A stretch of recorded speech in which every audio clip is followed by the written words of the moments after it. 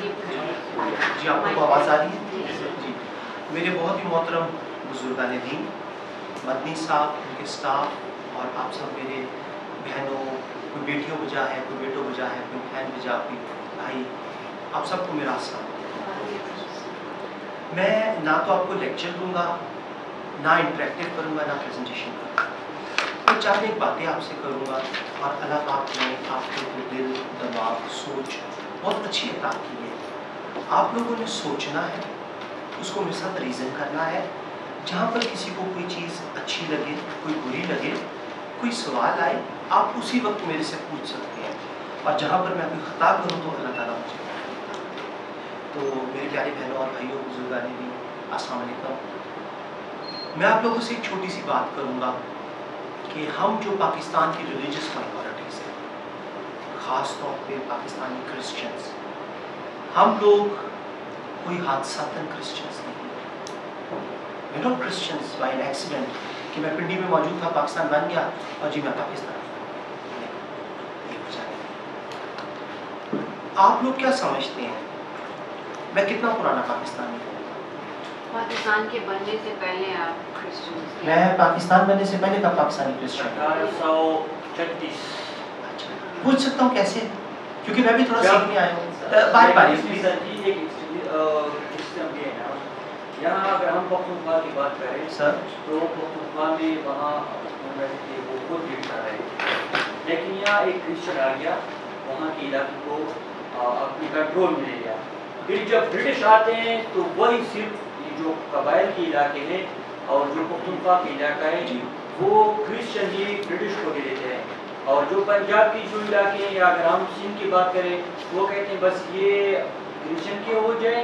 लेकिन ये इलाके हम आपको दे दें, ताकि ये पश्तून मुल्क सफ़र हो जाए, ताकि जो अफ़गानिस्तान का बॉर्डर है वहाँ उनकी रशिया थी तो इस इलाके को सफ़र करने के लिए, वहाँ के इन्फ्लुएंस को कंट्रोल करने के लिए क्रिश्चियन ब्रिटिश को दे ठीक है, ये आपका ख्याल है, मैं आपके ख्याल की इज़्ज़त करता हूँ, लेकिन मेरी समझ इससे थोड़ी मुख्तलिफ़ है आप कुछ कहना चाहेंगे? मेरी अंडरस्टैंडिंग मेरी नॉलेज के मुताबिक अ, जब ईस्ट इंडिया कंपनी यहाँ पे आई और उन्होंने प्लान किया कि हम अ, यहाँ पे कॉलोनाइजेशन शुरू करें और उन्होंने एजुकेशन नया करिकुलम इंट्रोड्यूस कराया टीन 1857 वॉर वो चीज़ ऑब्वियस हो गई।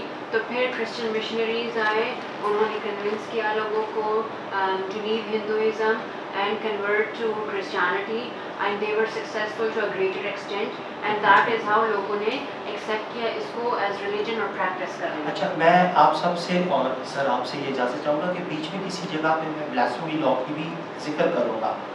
अगर आप में से किसी की दिल आज़ारी हो तो बजाय इसके कि बाद में जाके आप उसको गुफ्तगू करें।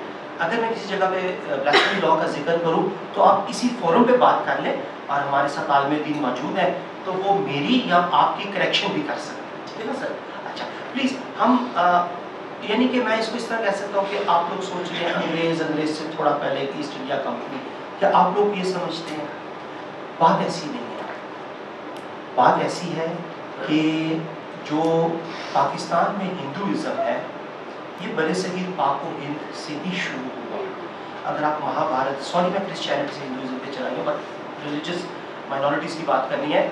जो हिंदुज़म है, वो शुरू यहाँ से। हिंदुज़म को अगर आप देखें तो हिंदुज़म की जो हिस्ट्री है, वो इस खिते के अंदर हज़ारों हज़ारों साल, अट्ठाईस हज़ार साल पुरानी है। ठीक है? और अगर आप मौजूदा वक्त का पाकिस्तान देखें तो हिंदुज़म के अंदर जो सबसे इम्पोर्टेंट तीन या चार उनकी रिलीजियस साइड है, जैसे आपके लिए यानी कि काबा शरीफ है ठीक है। फिर अलकुद से है, फिर आप, यानी और इस तरह की जगह आपके लिए बहुत इंपॉर्टेंट है। मेरे मज़हब के लिए बहुत ज़्यादा चीज़ें इंपॉर्टेंट है। कुछ ऐसी जगह हैं। हिंदुज़म के लिए जो सबसे इंपॉर्टेंट जगह है, उनमें से जो सबसे इंपॉर्टेंट अट्ठाईस जगहों में से तीन जगह हैं, वो मौजूदा पाकिस्तान में हिंदुज़म यहाँ पर बहुत हज़ारों साल पहले से था। मज़े की बात यह है कि सिखिज़म भी यहाँ पे स्टार्ट हुआ। उनके गुरु यहीं पैदा हुए, फैसलाबाद के पास।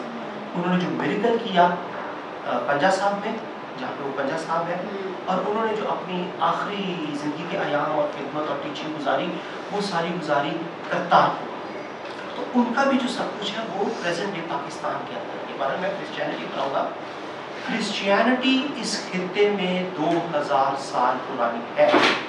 और आप लोग अपने दिल दिमागों पर किसी छुरी या पत्थर से लिख लें कि इस पूरे टिन्योर में मसीहत शुरू होने से लेके आज तक, अगर मसीहत को डैमेज किया गया था तो वो सिर्फ़ ईस्ट इंडिया कंपनी के दौर में मैं मद्दी साहब के साथ एक आर्टिकल शेयर करूँगा the relationship of the Roman Catholic church and East India company और सर, मेरी आपसे गुजारिश होगी कि वो आप इन तमाम दोस्तों को और बहन भाइयों को दे, वो पढ़े।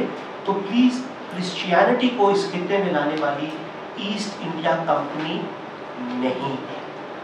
बल्कि जो आज मद्दी साहब ने ब्लास्मी लॉ की बात की, जिसकी भी शीट ए बी और सी बन चुकी है, अगर आप उसको थोड़ा सा स्टडी करें, मैं कॉन्स्टिट्यूशन का एक्सपर्ट नहीं हूँ, लेकिन ये जो लॉ है 295 ये बेसिकली अंग्रेज़ का बना because East India company sorry आज मेरा हिस्सा लिखा वो भाई ने थोड़ा सा ज़िक्र किया तो मैं इस पर आ गया अगर ईस्ट इंडिया कंपनी यहाँ पर मसीहत की मनादी शुरू कर देती तो वो बिज़नेस ना चलता। आज सर लिप्टन की लिप्टन चाय आप लोग ना पी रहे हो। आज यहाँ पर इतना बड़ा उनका इम्पैक्ट ना होता तो ईस्ट इंडिया कंपनी ने बिज़नेस को बिज़नेस रखा और मज़हब को या प्रीचिंग को बीच में नहीं देती मैं अपनी बात पर आगे चलता हूँ। मेरा सवाल था सर। हैं 2000 साल पुराने जी जी जी जी जिस तरह हमारी तारीख में कि सात सौ बारह में यहाँ पर मोहम्मद होते हैं। जी, मुसलमान बिल्कुल। यहाँ पर आ जाते हैं जी जी एक हिस्टोरिकल आपने फरमाया 712 हाँ सात सौ बारह में इस्लाम नहीं आया। 712 में मोहम्मद बिन कासिम यहाँ पर जो मुसलमान थे उनकी इमदाद पर आया। यहाँ पर इस्लाम अगर- 712 से पहले हमारे जो बुज़ुर्ग हाँ बुज़ुर्ग से से।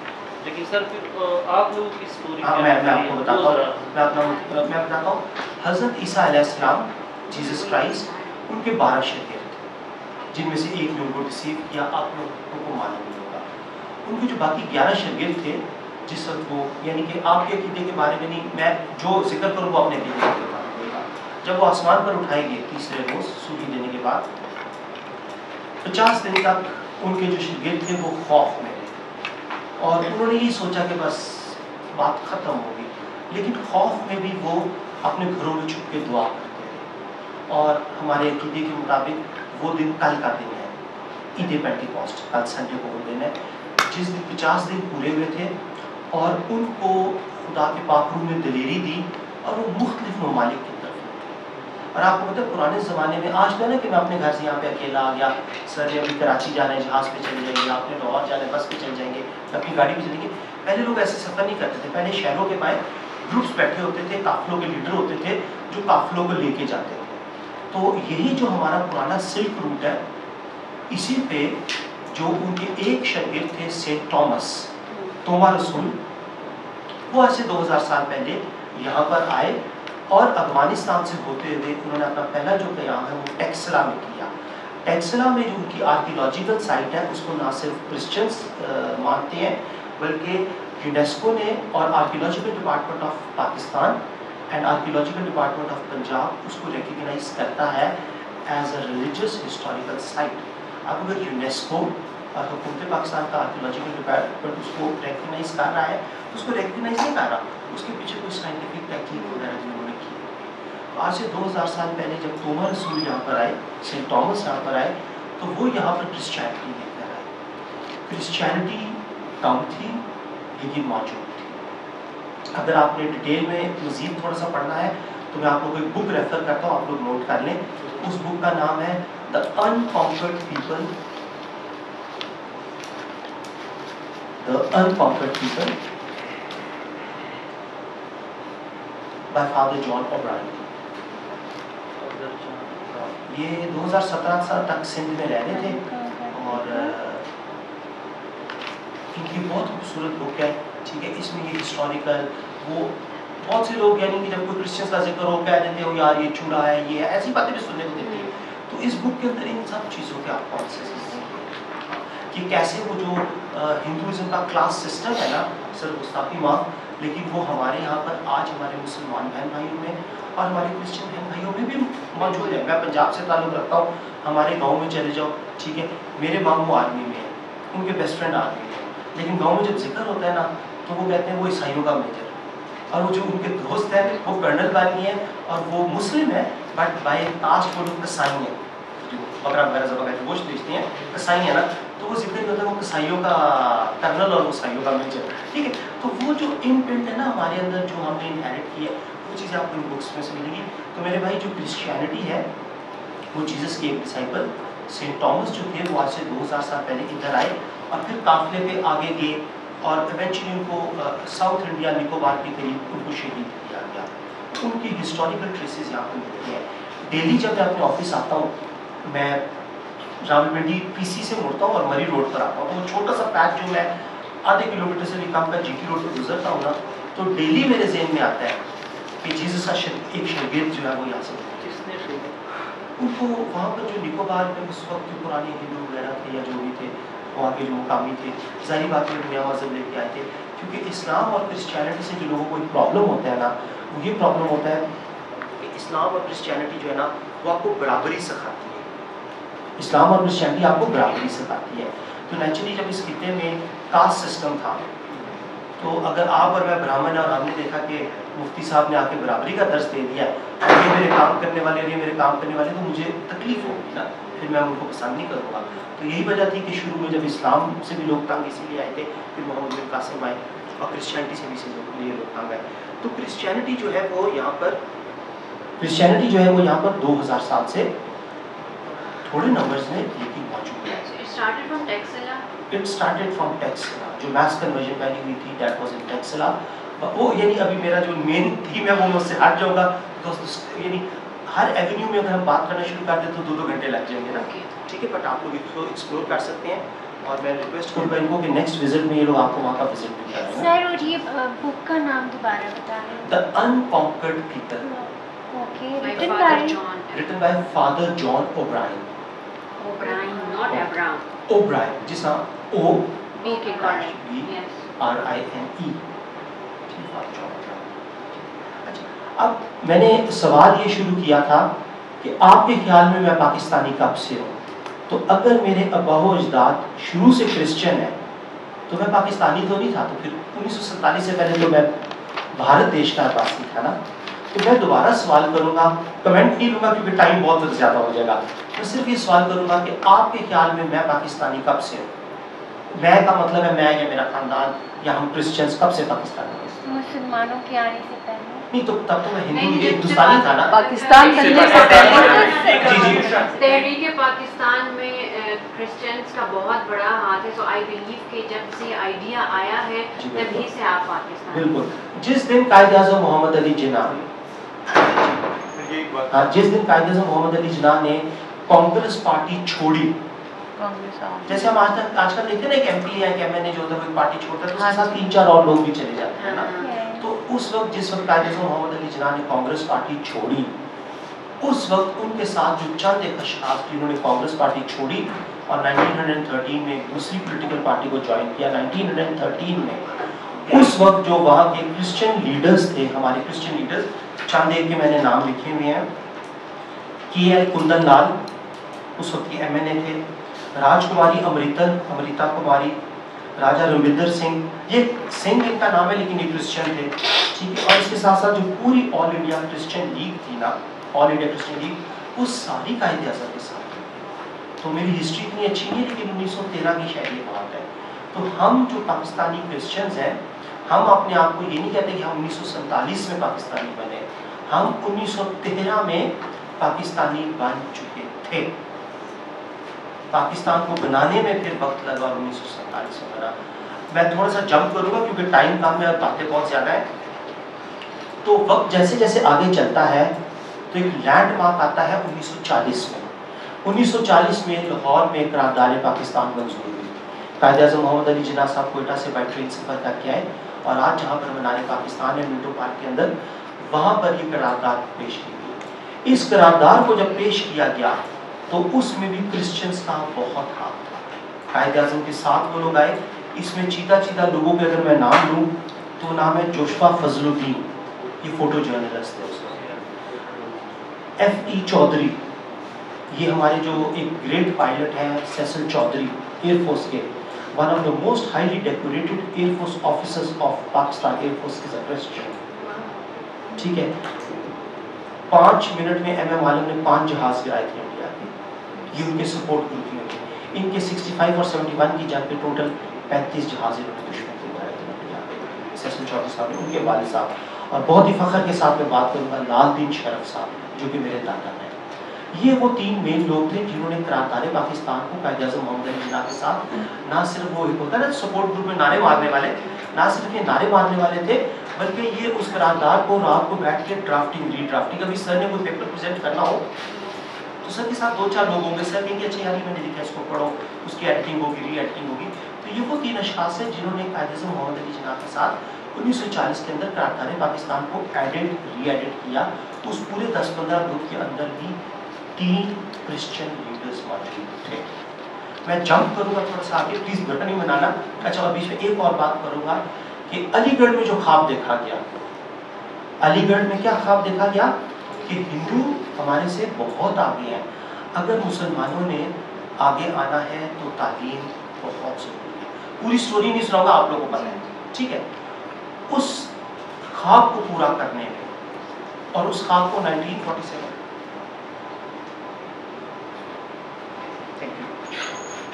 उस ख्वाब को पूरा करने के लिए जो बहुत बड़ा रोल अदा किया गया है, वो रोल अदा किया है पाकिस्तानी क्रिश्चियंस जिस वक्त पाकिस्तान बनता है, पाकिस्तान के पास मेडिकल केयर और पाकिस्तान के पास एजुकेशन का निज़ाम नहीं था आप लोग फ्रंटियर से हैं, अगर आप अभी भी टांग में देखें हॉस्पिटल मौजूद है।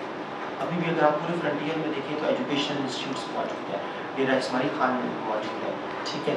स्वाद के मैंने पे सुना लोग मौजूद है, स्वाद में भी स्कूल मौजूद है। तो मैं थोड़ा सा जंप करूँगा। तो ये मेरा मतलब ये आप लोगों को बताने का मकसद था कि ये नहीं कि बस ये इतने से एरिया में पाकिस्तान बन गया और यहाँ पर एक क्रिश्चियन मौजूद था। अब यहाँ से वो हिंदुस्तान का वफादार था। आज 12 बजे पाकिस्तान बन गया तो पाकिस्तान का वफादार है और उसकी सोच है कि कल को कोई और आ जाएगा तो उसका वफादार हो ऐसी बात नहीं पाकिस्तान को पाकिस्तान के उस वक्त हिंदुस्तान के, उस वक्त राज के जो पाकिस्तानी क्रिश्चियंस हैं, उन्होंने by choice by choice Pakistan में शमूलियत हासिल की। आप बात करें हमारी अटोमिक बॉम्ब बनाने की। अटोमिक बॉम्ब बनाने में दो लोगों का नाम आता है, तीसरे को हम भूल गए शर्म की बात है। एक बात आती है, डॉक्टर कदीर मेरे हीरो है, उसी स्कूल के पढ़े जिस स्कूल का मैं पढ़ा हुआ ठीक है? दूसरी बात आती है सेठ हाबत की, जो एक स्मगलर थे, जिन्होंने उनको टेक्नोलॉजी यहाँ पे लाने में बहुत मदद की। हम शर्माते हैं, वो स्मगलर था, उसका अपना इतना नाम नहीं लेते, लेकिन उसने पाकिस्तान के लिए काम किया। तीसरा बहुत एक इंपॉर्टेंट शख्स जिसका कोई नाम ही नहीं लेता, ठीक है? उस वक्त के जो पाकिस्तान में उस मुल्क में अम्बेसडर थे ही वॉज़ क्रिश्चियन उनका नाम था सैमुअल अम्बेसडर सैमुअल उनका सर ने मेरे जेल में नहीं आ रहा। आप नेट में देखेंगे तो आपको मिल जाएँगे। ही वॉज़ अ की पर्सन जो पाकिस्तान की एटम बॉम्ब की टेक्नोलॉजी को लाने में उनकी हिस्सेदारी ठीक है? पाकिस्तान की न्यूक्लियर पॉलिसी लिखने वाले अशास में से। रूपांशी के ग्रुप में ब्रिगेडियर साइमन शरफ क्रिश्चियन और पाकिस्तान का कोई भी फ़ील्ड ले, आप गंडा सिंह ले लें, चुंडा ले लें, रन ऑफ़ कच्छ ले लें, सिंध ले लें, बलोचिस्तान ले लें, बलोचिस्तान की इंसर्जेंसी ले लें, कोई भी आप चीज़ ले लें, वहाँ पर आपको जो एक लोग नज़र आएँगे ना, उनमें आपको आटे में नमक के मुताबिक एक ना एक क्रिश्चियन ज़रूर नज़र आएगा। और वो जो एक ना एक क्रिश्चियन नमक के बराबर होगा इवन मैं एक और चीज़ आपको बताऊँ, यूक्रेन की एक वीडियो चली थी कि जी वो पाकिस्तानी इन्वेस्टर बड़ा अच्छा है उसने बड़ी अच्छा किया उसने ना सिर्फ़ पाकिस्तानी बच्चों को जब यूक्रेन वॉर शुरू हुई उसको बचाया बल्कि दो सौ कुछ इंडियन बच्चों को भी सिक्योर किया दो दिन रोटी पानी दी ख्याल रखा कपड़े दिए उनको इंडिया भेजा। वो पाकिस्तानी इन्वेस्टर यानी कि जो पाकिस्तान के सबसे मुश्किल फॉरेन मिशन है। जी। सर आप न्यूल इसराइल कोकर की बात कर रहे हैं? जी Noel Israel Khokhar ji. Major general Noel Israel Khokhar साहब की बात कर रहा हूँ। Pakistani Christian officer is a Pakistani Christian officer ठीक है? एंड जब उनका इंटरव्यू वगैरह या फॉक्स टीवी कहीं आया तो ही नेवर सेट किया क्रिश्चियन वो हमने सेट किया पाकिस्तानी अब, बातें मेरे पास बहुत ज़्यादा है आपको बताने की, क्योंकि आप लोग शाउर रखते हैं, आप लोग समझदार हैं, आप लोग इंटेलिजेंट हैं, ठीक है? तो अगर हम आगे चलें तो जीसस से एक दफ़ा जीसस बैठे हुए थे, हज़रत इस्लाम और तबलीग कर रहे थे।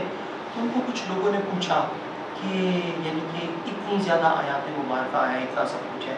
तो सबसे ग्रेटेस्ट कमांडमेंट है तो उन्होंने gospel according to Saint Matthew chapter 22 36 and 30 36 से 40 उसमें उन्होंने कहा कि जो दो बाइबल में आयात दी गई है ना, जो बिल्कुल तमाम आयात में सुप्रीम है, और इनको हम क्रिश्चियनिटी में कहते हैं द ग्रेटेस्ट कमांडमेंट्स पहली जो कमांडमेंट है, वो है अल्लाह ताला के साथ, अल्लाह ताला के साथ अपनी पूरी अकल, अपनी पूरी जान, अपने पूरे दिल के साथ उन्स करना यानी your love is only with God बस। मोबाइल के साथ, गाड़ी के साथ, जीप के साथ, सीट के साथ कुर्सी के साथ प्रेस्टीज के साथ, कपड़ों के साथ, किसी इंसान के साथ नहीं। आपका जो उन्स है ना, वो ऑप्टिमम होना चाहिए और सिर्फ़ अल्लाह ताला के साथ के साथ होना चाहिए।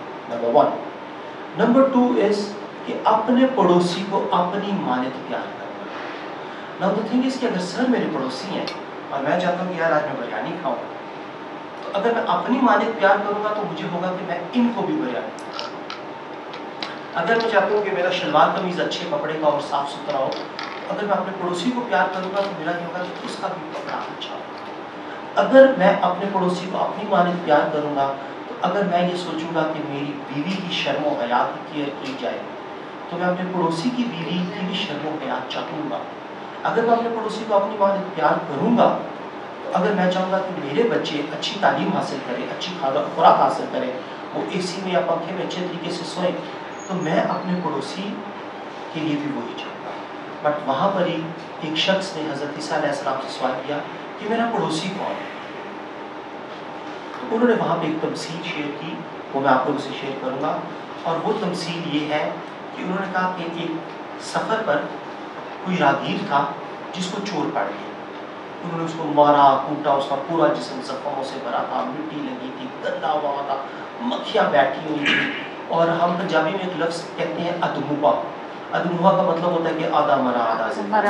हाँ हाँ। तो तकरीबन यानी कि नीम मुर्दा हालत में ना वो बंदा वहाँ पड़ा था और पलीत हालत नजासत उसके ऊपर थी। ठीक है? तो वहाँ से ना एक उस जमाने का यहूदी प्रीस्ट गुजरता है। और वो जल्दी जल्दी जल्दी जल्दी जा रहा है। उसने कहीं जाके नमाज़ कर वज़ू शुरू आप होते यहूदी भी वज़ू करते हैं Exactly, हाँ तो उसने जब उसको देखा रुका। उसके दिल में रहम आया। लेकिन उसने उसको हाथ लगाने से परहेज किया। उसने कहा मैं तो भी जाके पाँच सौ लोग मेरा वेट कर रहे होंगे मैंने दुआ करानी मैंने वज़ू किया मेरे कपड़े पाक साफ़ है मैं पलीत हो जाऊँगा नचासत लगी है ये है वो है। बहरहाल वो चला गया। और उस ज़माने में एक बहुत अजीम कबीला होता था जिसको बड़ा अजीम समझा जाता था लेवीज जो मजहबी तकरीबात वगैरह को देखते थे और हमारी क्रिश्चियन बिलीफ के मुताबिक जो ऐत का संदूक था उसको उनके अलावा वो टच भी नहीं कर सकता था। तो एक लेवी वहाँ से गुजरा और जब वो गुजरा, उसका भी यही हालत है। उस गुसल वगैरह किया है, वो रुपया उसके दिल में रहम आया, उसको अफसोस आया। है लेकिन उसकी नजासत, उसका काम, उसका खून, पसीना थूक देख के ना, उसने उसको हाथ नहीं वो भी गुजर गया। वहाँ से फिर एक तीसरा बंदा गुजरता है, एक सामरी। और आप उसे जो मेरी उम्र की आपको याद होगा अलिफ लैला और इस तरह की जो कहानियाँ थी ना उनमें आज भी जो जादूगर या कोई बुरा शख्स होता है उसको सामरी कहा जाता है। वो सामरी जादूगर की कहानी। सामरी उस वक्त जो थे ना मज़हब से बहुत दूर और जादू और बुरी चीज़ों में बड़े समझे जाते थे। और आज भी हमारे बच्चों की अलिफ लैला और कहानियों के अंदर सामरी को बुरा समझा जाता है। वहाँ से एक सामरी गुजरता है। जब वो शख्स को देखता है तो उसको रहम और वो रुकता है। वो पानी से उसके जख्म साफ़ करता है और उसके जख्मों पे तेल लगाता है। उसको अपने गधे पे लादता है और उसको लेके जाता है और आगे एक सराह में उसको रखता है। और सराह के मालिक को वो बाइबल मुकदस में लिखा है कि दो चांदी के सिक्के देता है। और उसको कहते हैं कि तुम इसकी तैमारदारी करना, मैं रूटीन में यहाँ से गुजरता हूँ। जब ठीक हो जाएगा इसको रुखसत कर। और अगर दो चांदी के सिक्कों से ज़्यादा पैसे लगे तो मैं वापसी पे आते हुए तुम्हें और पैसे दे तो वहाँ पे हज़रत ईसा ने कहा कि वो बहुत बड़ा मजहबी प्रीस्ट वो बहुत बड़े रूहानी घराने का लेवी और जिसको हम यानी एक सामरी कहते हैं, उन्होंने कहा उसमें से उसका पड़ोसी कौन? पड़ोसी वो है जो ज़रूरतमंद के साथ उसकी ज़रूरत को पूरा करे बगैर किसी रिवॉर्ड या किसी मतलब तो ये बिब्लिकल है और इसी पड़ोसी की रूट के अंदर के एक दूसरे को आज़ादी देना, एक दूसरे की केयर करना, एक दूसरे का प्यार करना, एक दूसरे की बहन बेटी की शर्म रखना, एक दूसरे की मज़हब की शर्म रखना, एक दूसरे के चलने, फिरने, खाने, पीने, उसके स्कूल ऑफ़ थॉट की, उसकी रिलीजियस थॉट की आज़ादी रखना। ये जो क्रिश्चियंस को नज़र आती है, वो क्लोजेस्ट नज़र आती है अपने मुसलमानों that was the reason that was the reason कि उस वक्त क्रिश्चियंस ने ये फैसला किया कि हम मुसलमान और इसकी मैं एक छोटी सी और दलील पेश करूँगा। उसके बाद मैं कंक्लूड करूँगा चंद एक मिनट में। वो ये कि जो क्रिश्चियंस हैं, वो ये भी रियलाइज़ करते हैं। मैं तीन चीज़ें आपसे शेयर करूँगा। नंबर वन जब हम देखते हैं क्रिश्चियंस ने हिस्टोरिकली देखा है। अच्छा एक चीज़ ज़रूर याद रखिएगा। हिस्ट्री में क्रिश्चियंस मुस्लिम लड़ते हैं। और उन्होंने बड़ी किताबें भी लिखी दी हैं उनकी बड़ी स्टोरीज भी हैं। और हर शख्स को पता है। अभी मोबाइल में मैंने आपको चार वीडियोज़ मिलेंगी बट क्रिश्चियंस और मुस्लिम्स की क्लोजनेस पे बहुत कम बात है। मैं बात करूँगा आप सल्लल्लाहु अलैहि वसल्लम की जो ट्रीटीज थी जो कॉन्ट्रैक्ट्स थे विद क्रिश्चियंस और बहुत ज़्यादा थे उनमें जो प्राइम मैं रखूँगा एक नजरान की ट्रीटी को अगर आप स्टडी करें। और अगर एक आप स्टडी करें आ, सीना वाली। जो मॉन्क्स थे माउंट सीना के वो जो पहाड़ी जहाँ पर वो आग नज़र आई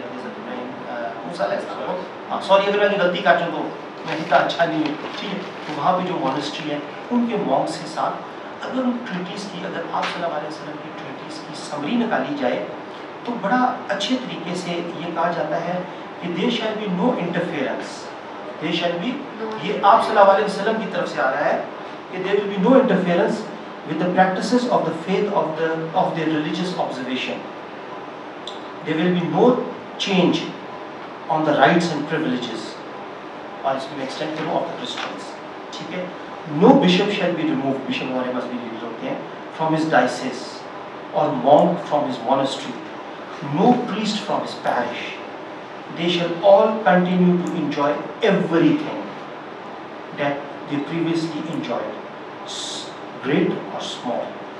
No image, क्योंकि हम चर्चेज में हज़रत ईसा अलैहिस्सलाम की तस्वीर आप होती है हमारे क्रॉस होता है। No image of cross shall be destroyed. There will be no oppression.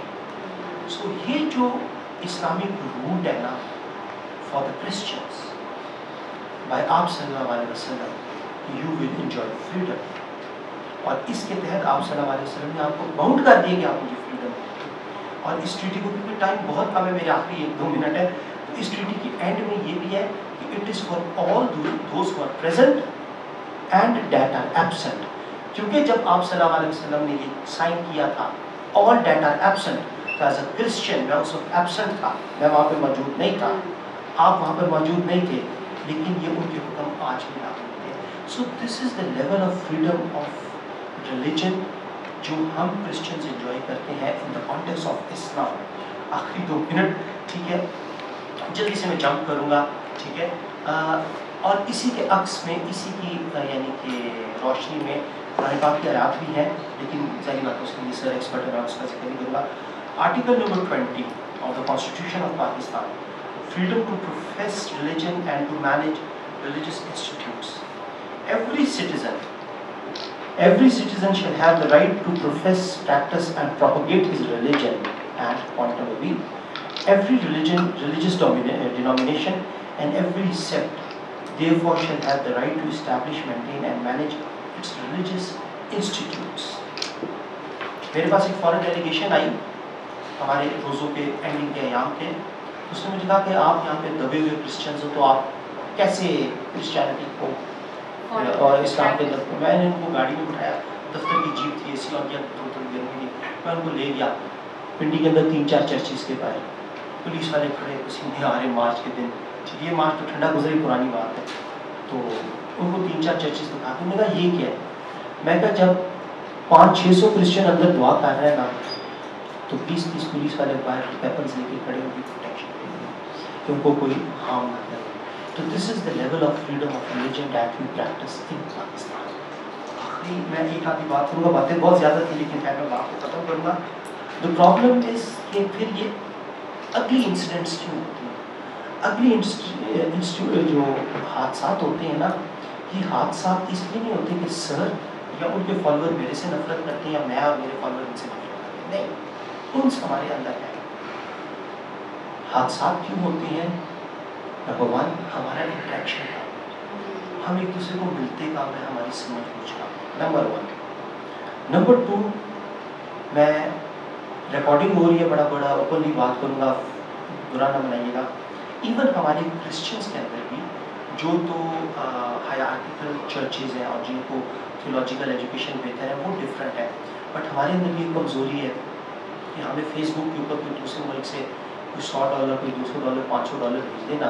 तो हम भी कोई छोटा मोटा गली गली के अंदर छोटा सा चर्च बना के ना तो एक अच्छा भाव है, बड़ा खूबसूरत कि I dance to their music वो जैसे ही बीन बजाते हैं, मैं वैसे ही नाचता हूँ। तो एक ये प्रॉब्लम है। एक प्रॉब्लम है माइंड सेट और वो जो माइंड सेट का प्रॉब्लम है, जब किसी मुसलमान भाई से कोई बात होती है और उसको मार दिया जाता है, शहादत की ज़रूरत है। अगर शहादत हो और उसको सजा दीजिए ठीक है।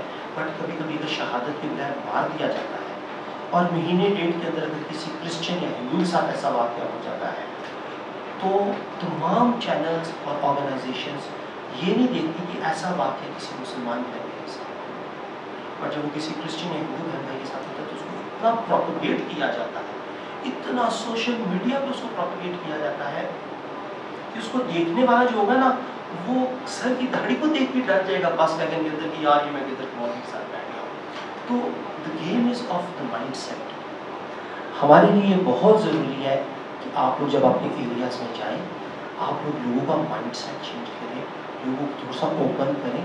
देखिए मैं एक मिसाल दूँगा फ्रूट चाट अच्छी लगती है आपको? अच्छा फ्रूट चाट मुझे भी बहुत अच्छी लगती है। देखिए फ्रूट चाट में जितने भी फ्रूट्स होते हैं ना उनकी इंडिविजुअल आइडेंटिटी जो है वो मेंटेन करते हैं। अमरूद अमरूद रहता है सेब सेब रहता है अनार अनार रहता है। बट जब वो मिक्स होते हैं ना तो एक बड़ा मज़ेदार नया फ्लेवर भी आता है और वो ताकत भी ज़्यादा देता है। तो इसी तरह पाकिस्तान में the religious minorities of Pakistan जो है, उनको as far as freedom of religion is concern there is no problem अगर कोई प्रॉब्लम है तो वो आपस में अंडरस्टैंडिंग का मसला है सोशल इंटरेक्शन का मसला है, जो एक बहुत पुराने वक्त से हमारे डीएनए के अंदर चाहे हम मुस्लिम हैं, चाहे हम क्रिश्चियन हैं वो जो एक ज़ात पात एक बहुत अच्छा मुस्लिम मोमिन होगा एक बहुत अच्छा क्रिश्चियन मोमिन भी होगा ना। अचानक काली बिल्ली गुजर जाएगी ना वो रास्ता नहीं रोकेगा। लेकिन एक दफ़ा उसके जेब में पड़ेंग आएगा ये काली बिल्ली मेरा रास्ता काट गई तो वो जो हज़ारों सालों से हमारे खून के अंदर, हमारी जनरेशन के अंदर जो एक रिलीजन था, जहरी बात उसका कुछ असर तो रहेगा तो Pakistan is a beautiful country आप सब मेरी बेटियाँ, बहनें, मेरे भाई मेरे बुजुर्गान दिन आप सब भी बहुत ब्यूटीफुल और मैं भी थोड़ा सा बस इन मिसअंडरस्टैंडिंग्स को, इन माइंडसेट्स को, और मैंने जो अपना अतराफ़ किया कि हमारा कोई छोटा मोटा गली गले का चर्च है, बेचारे पाकिस्तान का गुजारा नहीं हो रहा। फेसबुक पे किसी ने लिंक किया, कोई दो सौ पाँच सौ डॉलर भेजे, और मैंने बस उनकी बातों पे नाचना शुरू कर दिया। और ये शायद दूसरे मजाहिब में भी थोड़ा बहुत होता होगा।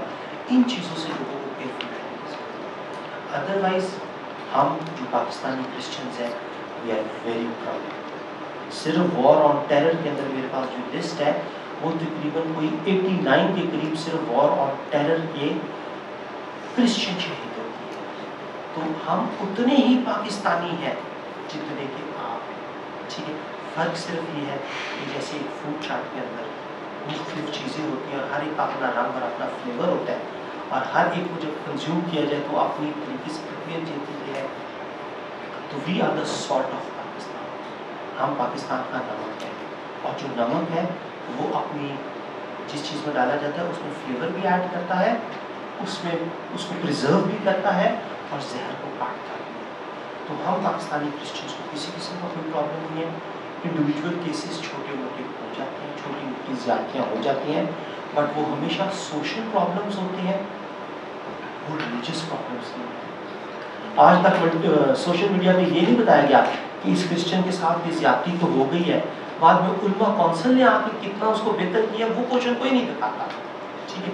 तो very proud to be Pakistani और मैं बजाते खुद बहुत फ़ख्र करता हूँ कि मैं एक ऐसे मुल्क हूँ जहाँ पे मेरे अड़ोस पड़ोस में मैं एक मुस्लिम कॉन्टेक्स हूँ।